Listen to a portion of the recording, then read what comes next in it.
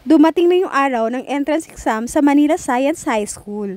Wala pang 6 a.m., marami ng mga nag exam na dumating kasama mga magulang ng mga bata. Kaya gumising na ako ng 3 a.m. at ginising ko na din ng 3.30 si Bryce para makapag-prepare at makapunta na din kami. Naka-ready na rin si Bryce agad kaya mga 4.30 a.m. paalis na rin kami. Medyo nahirapan lang kami magantay ng sidecar sa oras na yan dahil madaling araw pa lang. Kunti pa lang yung mga sidecar na dumadaan. Nakasakay na din kami. Kasabay pala namin yung mga ibang kaklase ni Bryce na mag-entrance exam din sa Manila Science.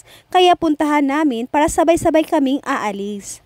Buti nakakasakay naman kami ng jeep agad sa oras na iyan. Ready na ang mga kids at ang mga supportive nanay. Naway sila lahat ay makapasa para magkasama-sama pa rin sana sila. Bumaba lang kami bandang Metro Point Rotonda dahil mag-LRT na kami para mas mabilis ang biyahe namin. Kailangan kasi bago mag 6am makarating na kami roon. Buti wala pang masyadong pila sa LRT sa oras na iyan kasi madaling araw pa. Kaya mabilis lang kami nakabili ng card. Si Bryce ay medyo naantok pa, kulang din sa tulog. Papasok na kami riyan para makasakay na din kami.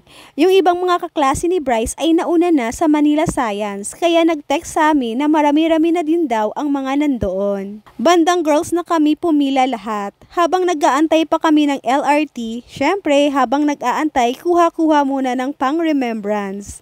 Si Bryce di pa nga nag-i-exam napapagod na agad. Nakasakay na kami riyan. Lahat naman kami ay nakaupo naman dahil wala pang masyadong pasahero. Simula mula EDSA station at ang baba namin ay UN station na. Tapos yun na agad ang Manila Science. Mabilis lang naman puntahan at mabilis lang din ang biyahe dito. Pumila na ang mga kids at sinamahan na namin sa pila para makapasok na din sila sa loob. Marami ding mga pulis ang mga nakabantay sa oras na iyan. Kung hindi ako nagkakamali, nasa 1,400 students mahigit ang mga mag-entrance exam sa oras na iyan. Plus, may mga kasama pang parents. Kaya marami talagang tao sa labas ng Manila Science. Nasa 300 students lang ang maswerteng makapasa sa entrance exam dito. Kaya good luck lahat sa mga student na mag-entrance exam at sa mga anak namin, good luck at galingan ninyo. Siyempre lahat yung mga nag-i-exam ay magagaling.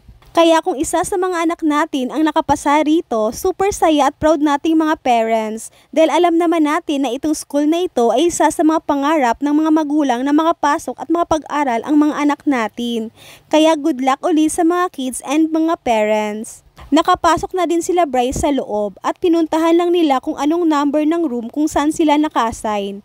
Sila Bry and classmate niya ay naka-assign sila sa room 32.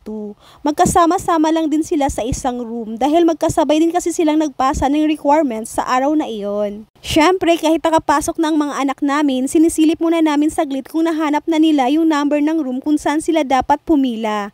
At yung mga ibang parents din, ganun din ang ginagawa nila. Nang nakasigurado na kami na nakapila na sila sa room kung saan sila naka-assign, umuwi muna kaming magmami dahil 12pm pa naman sila matatapos. Para din makagawa pa ng trabaho sa bahay. Alam naman tayong mga nanay, di nauubusan ng mga gawaing bahay.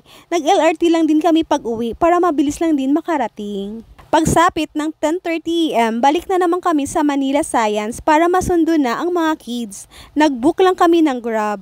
Medyo mainit na din kasi at wala naman ding traffic pa. Kaya nakarating din kami agad sa Manila Science. Konti pa lang din yung mga magulang na nag-aantay. Kaya napag-isipan namin na doon na lang muna kami mag-antay sa Popeye para maka-reserve ng mga upuan para sa mga kids at maka-order na rin ng mga foods nila. Sigurado akong gutom na gutom na talaga ang mga yon dahil madaling araw pa sila nakapag-breakfast at syempre nakakagutom talaga ang mahirap na exam. Naka-order na kami at naka-ready na rin ang mga foods ng mga kids kaya sakto lang puntahan na din namin dahil tapos na daw sila mag-exam susunduin na namin ang mga bata.